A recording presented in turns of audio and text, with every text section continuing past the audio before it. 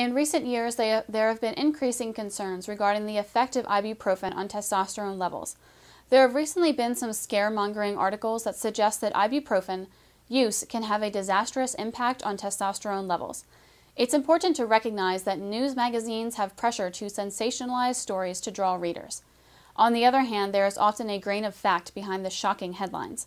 Let's delve deeper and work toward the truth.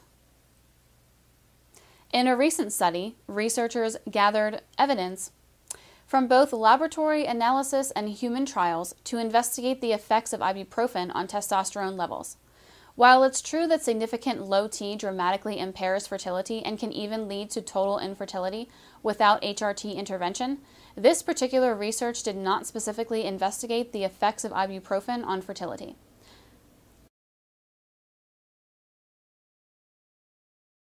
In the investigated clinical study, 30 male participants took 1,200 milligrams of ibuprofen per day for one and a half months to determine the effects of ibuprofen overdose on testosterone levels. The average single dose of ibuprofen is 400 milligrams.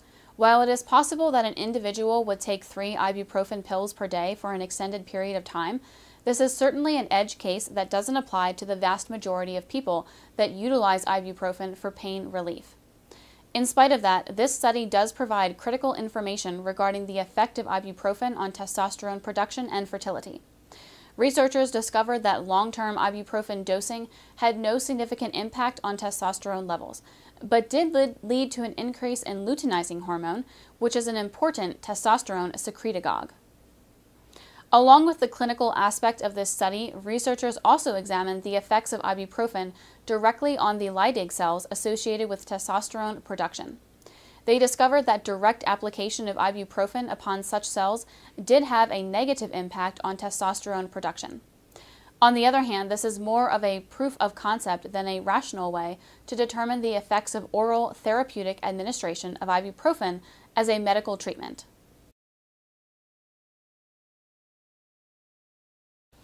When the body produces elevated luteinizing hormone while maintaining normalized testosterone production, this is a situation referred to as compensated hypogonadism. This is generally a characteristic of the aging process. It means that the body is having to work harder to maintain healthy testosterone levels. Typically, this also means that the male reproductive system is having issues which could contribute to low libido and erectile dysfunction. While further, more specific research does need to be conducted, this doesn't mean that you should abandon ibuprofen altogether. You shouldn't even worry much even if you take ibuprofen frequently to deal with aches, pains, and other symptoms. On the other hand, if you do treat with ibuprofen every day, you should talk to a doctor about what steps you can take to improve your current pain management routine.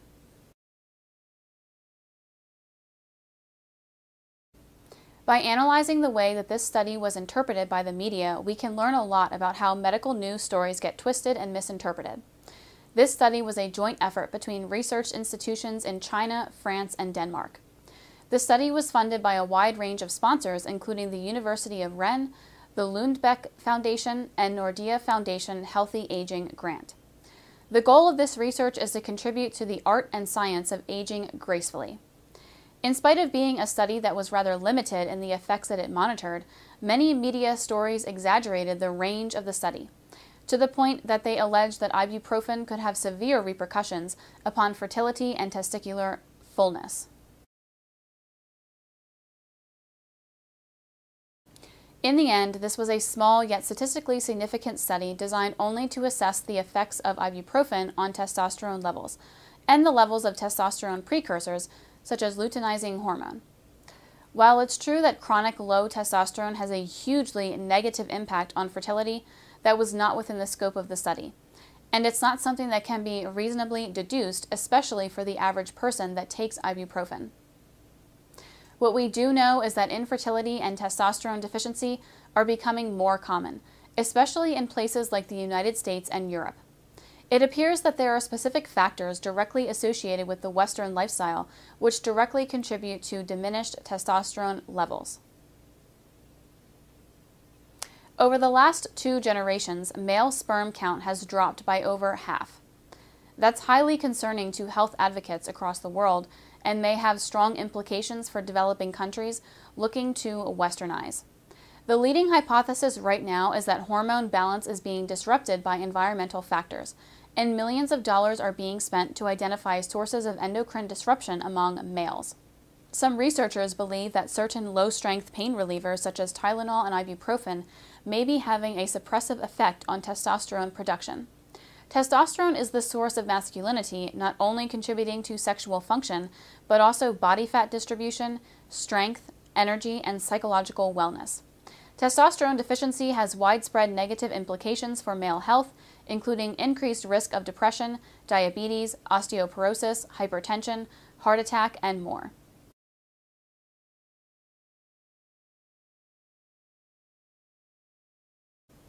While this study produced strong results regarding the impact of ibuprofen on testosterone levels, there's not enough evidence to come to extensive conclusions. While the long term heavy use of ibuprofen may have a negative impact on fertility, it appears that these adverse effects are temporary and associated with chronic use. In the end, this study determined that high frequency ibuprofen use makes the body have to work harder to maintain normalized testosterone levels as evidenced by the increase in luteinizing hormone concentrations in the bloodstream. In the end, researchers could determine that the compensated hypogonadism experienced by these participants is comparable to that associated with the aging process, and that this form of hormone imbalance is related to physiological and sexual issues in that age group. Further research will need to be conducted to examine additional physiological effects related to such use. At this point, there is no direct evidence that ibuprofen has an immediate impact on fertility and symptomatic low T. The goal of this study was simply to monitor hormonal changes and not to evaluate the physiological effects of those changes. On the other hand, with the myriad of chemicals and other physiological influences that our bodies experience every day, it's important to recognize which of those issues may have a negative impact on hormone imbalance. While the effects of ibuprofen may ultimately minor on their own, they may be more problematic when combined with other endocrine disrupting chemicals. Unless you take ibuprofen as a chronic means of pain relief, occasional use of the medication should be negligible enough that the benefits of the treatment far outweigh their disadvantages. If you found this video informative, please press the like button and subscribe to the channel. To learn more about health and wellness regarding hormone replacement therapy, please click the link below in the description.